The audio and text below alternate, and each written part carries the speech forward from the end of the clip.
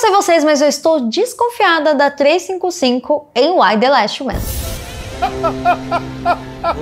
Not today. You're a wizard. Avengers!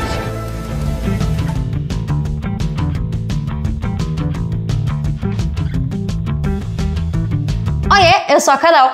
Eu não sei, eu não sei de onde é que surgiu né, essa dúvida, mas é tudo muito misterioso em relação a essa personagem. A gente sabe que ela não teve pai, ela não teve mãe, ela só teve agentes ali que acolheram ela, né, e treinaram ela para ela ser quem ela é hoje. Ela é muito astuta, ela é muito esperta. E claro que não existia pessoa melhor pro York estar tá junto, senão ela, né? Ainda mais no momento em que tá rolando um apocalipse e só existem mulheres. E aí, como ela tá aí intitulada nessa missão de arrastar o York para tudo que é lugar, para conseguir achar a tal doutora que eles conseguiram finalmente encontrar nesse episódio novo. Mas ao mesmo tempo ela ficou ali muito estranha. Ela quebrou a antena do telefone, que era a única forma dela falar com a mãe do York, e mesmo assim ela quebrou, ela quebrou. E eu fiquei, caralho, o que, que você tá fazendo? Qual é o objetivo dela agora? Com certeza não é só esse. Ao mesmo tempo, ela sai, com certeza na verdade, né? A gente já sabe agora qual que é o objetivo dela, né, gente? Encontrar tal outra mulher que é sobrevivente e cabeça das operações ali, que fazia com que ela e outras mulheres que a gente sabe agora que existem, né? Que estavam ali fazendo várias atividades, né? Dessa agência misteriosa, secreta, MIB, Homens e Preto. Não sei. Mas achei interessantíssimo porque a interação que ela teve com a 525 foi muito assim, bizarra, sabe? Porque ela mesma falou: ah, o que, que você vai fazer quando você encontrar ela? Que é a cabeçona, né? A chefona, né? Ah, você, meu, vou meter uma bala no meio da cabeça dela, entre os olhos dela e acabou. É sobre isso.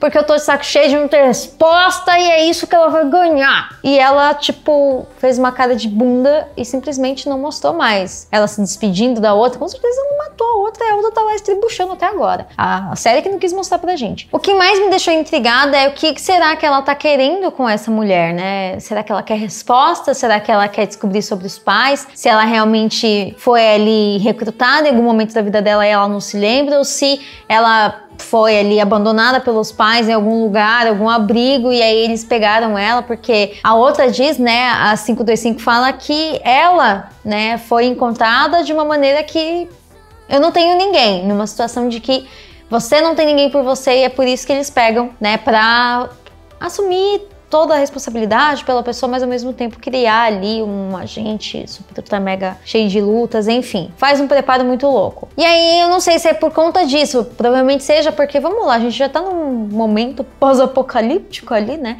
Tentando entender tudo que tá acontecendo, ela já acha demais pra cabeça dela ter que carregar o York pra lá e pra cá. Fora o Emp, né? A Tiracolo também ali junto com ele, e aí ela fica de saco cheio de tudo isso, talvez seja a válvula de escape dela para conseguir processar tudo que tá acontecendo querendo ao mesmo tempo ela ter essa missão, mas ela também quer ali alcançar respostas que ela nunca teve a oportunidade nem de questionar. Então eu acho interessante porque mostra um viés da personagem que nem ela mesma acho que sabia que isso ia acontecer com ela, que ela iria, meu Deus, eu tô só por eu mesma? Não, eu sei que não tô.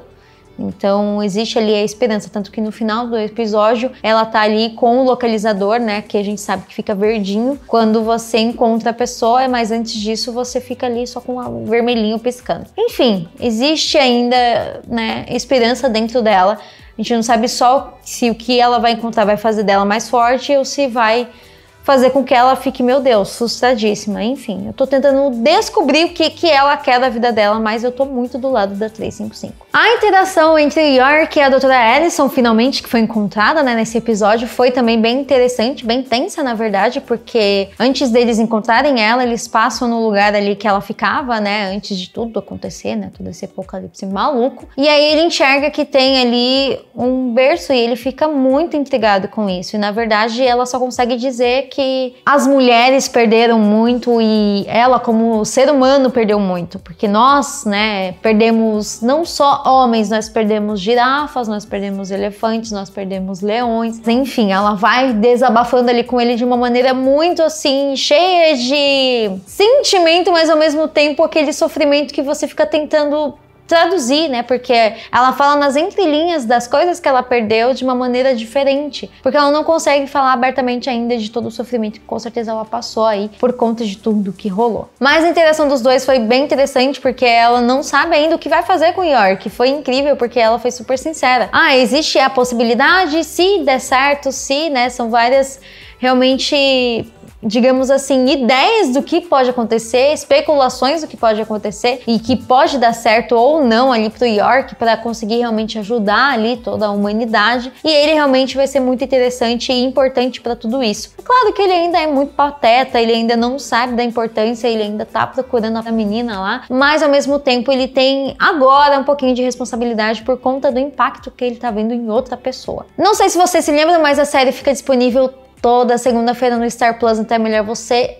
Se inscrever no canal, deixar o like, comentar e ativar todas as notificações do universo, porque assim, toda segunda-feira eu tô trazendo aqui review, resenha, o que você quiser chamar do episódio de the Last Man, então é melhor vocês ficarem por dentro para não perder por nada, porque eu tô amando o desenvolvimento da série e ela não tem enrolação, então em todo episódio rola um rolê aleatório. Claro que rolou muito mais coisas do que eu falei aqui, e eu quero muito discutir sobre o que rolou nesse episódio total com vocês aqui nos comentários. Então é muito importante vocês comentarem aqui para engajar e para conversar sobre, porque essa série é muito louca. Não esqueçam também de me acompanhar nas redes sociais para não perder por nada os posts, os reels, os stories que eu tô fazendo por lá e nas outras redes também. Até o próximo vídeo. Tchau!